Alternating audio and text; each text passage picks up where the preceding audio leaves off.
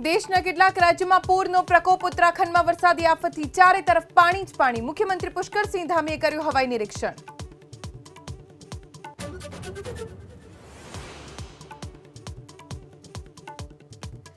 હિમાચલ પ્રદેશ ઉત્તર પ્રદેશ અને બિહારના કેટલાક શહેરોમાં પૂરની સ્થિતિ લખીમપુર ખીરીમાં રેલવે ટ્રેકનું ધોવાણ નદીઓ ભયજનક સપાટી પર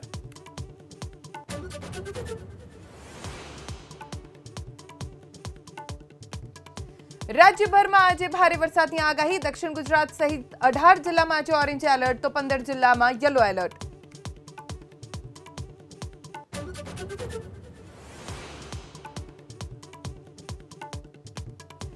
ચુવાડિયા કોળી સમાજના નેતાને મુખ્યમંત્રી બનાવવા રાજકોટ જિલ્લા ઠાકોર સમાજના પ્રમુખની માંગ અલ્પેશ ઠાકોર કે લવિંગજી ચૌહાણને મુખ્યમંત્રી બનાવવા પીએમ મોદીને લખ્યો પત્ર